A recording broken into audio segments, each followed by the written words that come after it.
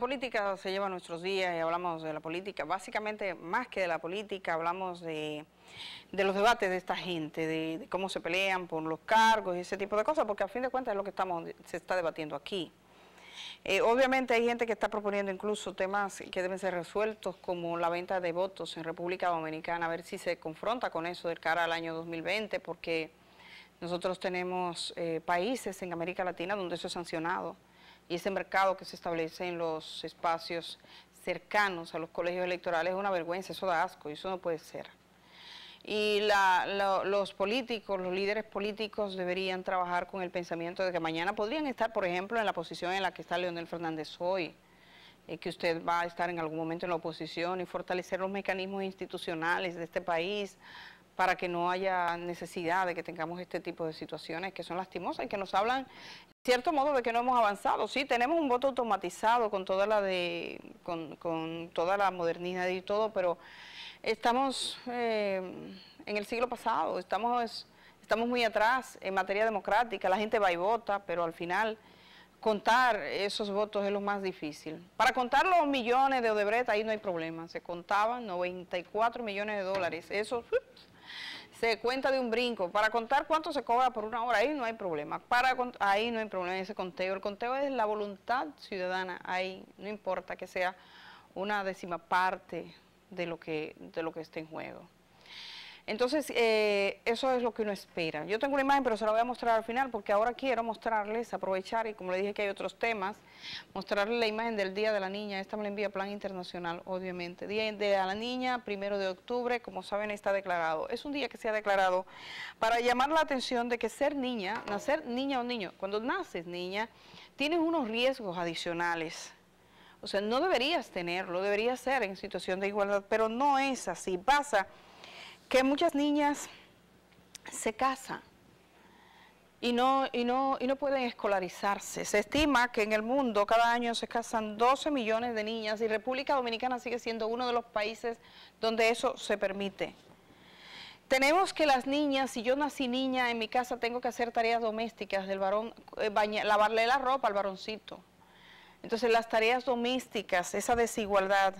Tenemos que la que se embaraza es la niña porque el varón no se embaraza. Entonces hay una diferencia. Esa muchachita que sale embarazada y que corre con la cuenta de lo que vivieron los dos, sea este de su edad o sea incluso más viejo, que es lo que suele pasar aquí. Entonces vemos la maternidad llena de niñas.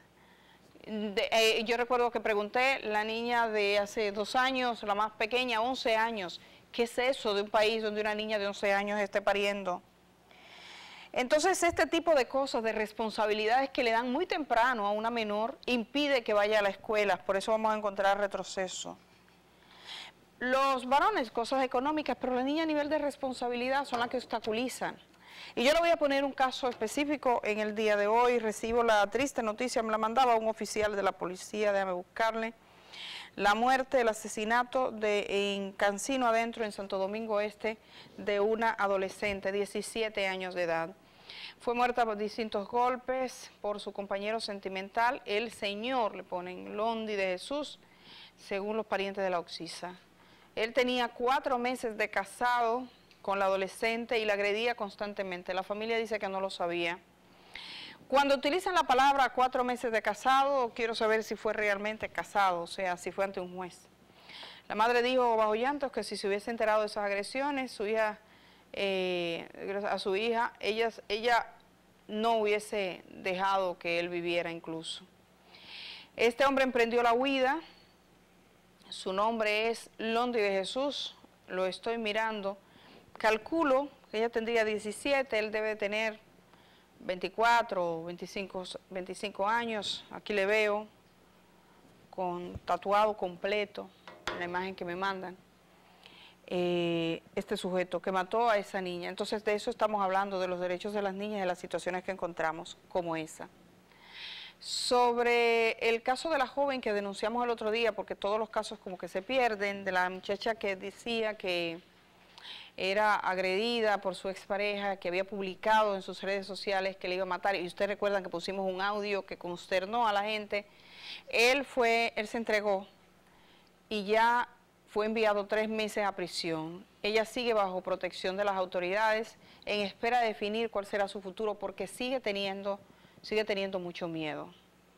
Con respecto al caso de Anibel González en San Pedro de Macorís, está bajo arresto un abogado, eh, ya le dictaron tres meses de medida de coerción porque eh, se le acusa de haber falsificado la firma de Anibel González. A mí lo único de todo esto que sí me llama la atención es que encima de la firma del abogado o debajo de la firma del abogado está la firma de la fiscal y está el sello de la Fiscalía de San Pedro de Macorís, dígase la firma del Ministerio Público. Así dice, Procuraduría General de la República, Fiscalía de San Pedro de Macorís.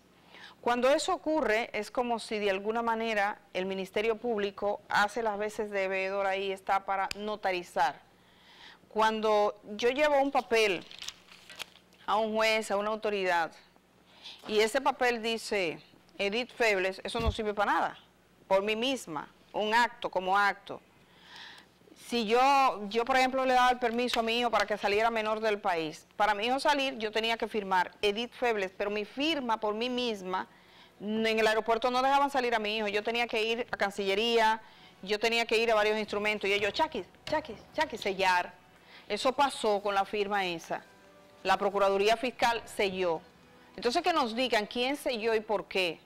Porque si la firma era falsa, o, el Ministerio Público vio cuando él firmaba falsamente, o el Ministerio Público no vio cuando se firmaba y sin embargo selló. Entonces hay una responsabilidad. Eso es lo que estamos por preguntar.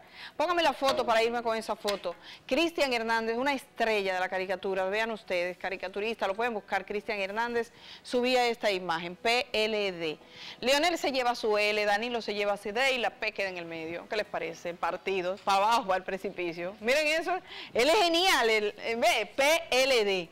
La P se queda en el aire, que va para el hoyo del precipicio. Leonel se carga su L y Danilo se carga su D. PLD, dividido ahí. ¿Lo ven? Es una estrella él, excelente, eh, sí, sí, sí, excelente. Lo pueden buscar, él sube siempre sus caricaturas a sus redes sociales. Ahí queda, así es que van ustedes, digo los que son de ese litoral. Mañana nos encontramos, digo mañana no, hoy es viernes, parece mentira. Hoy es viernes y nos toca, gracias a Dios, descansar porque lo merecemos. Este país merece un respiro. Hasta el lunes a las 11 aquí estamos.